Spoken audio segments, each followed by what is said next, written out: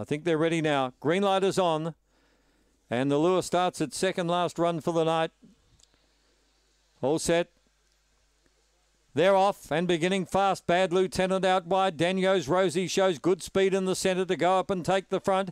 Ebony Eskimo is poking up along the rail to try and keep it out. Now Naja Naja joins in from Bad Lieutenant and Horror Show. Getting to the front, Daniels Rosie by about a head from Naja Naja on the outside. Still there, Ebony Eskimo the rail. They straighten up. Naja Naja goes to a narrow lead. Naja Naja too strong for Daniels Rosie.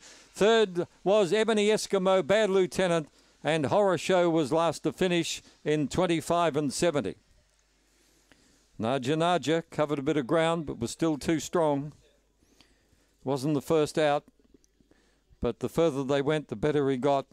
Naja Naja, the winner, by Snakebite Bale from Gladys's Corner. Uh, raced by Tanya Rawlings and trained by Ben Rawlings.